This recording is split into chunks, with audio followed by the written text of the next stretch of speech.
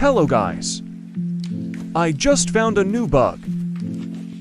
You probably read the title. Death Counter Plus Omnidirectional. Let's get started.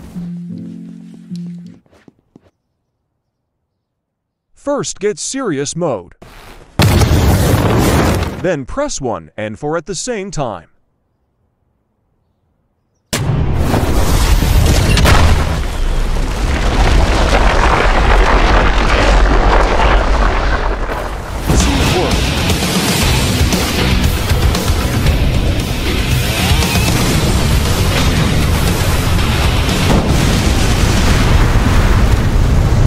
Also do it with Death Counter Plus Table Flip. Press 1 and 2 at the same time again.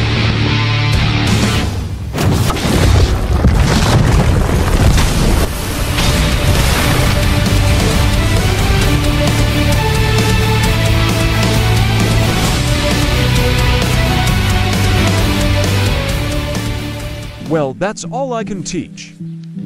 Hope they fix it soon. Goodbye.